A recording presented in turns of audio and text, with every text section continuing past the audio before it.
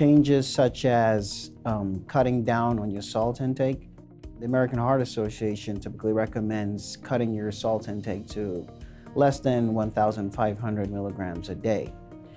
And what that looks like in real life uh, varies. So, for instance, something as simple as a bag of chips is about uh, 250 milligrams. A lot of the processed meats have very high salt content, and also things like canned soups and all other canned foods because they put in a lot of preservatives in them. Um, for instance, a can of soup can contain as much as 1,500 milligrams, which is your total daily uh, limit. So making changes to your diet, also regular exercise. And that could be something as simple as walking regularly. A brisk 30 minute walk about five days a week goes a long way. Um, losing weight, stop smoking if you do smoke. Also moderation of um, alcohol intake.